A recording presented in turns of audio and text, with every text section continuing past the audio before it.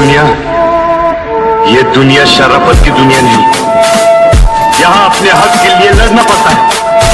अपने हक को छीनना पड़ता है। तुम्हारी नज़रों में दुनिया का सबसे गिरा हुआ इंसान हूँ मैं। लेकिन एक बात सुन लो। जब तुम्हारी इज़्ज़त बचाने के लिए शहर की शराफत कम पड़ जाएगी, उस दिन उस दिन तुम्हें इस दरिंदे की याद आएगी।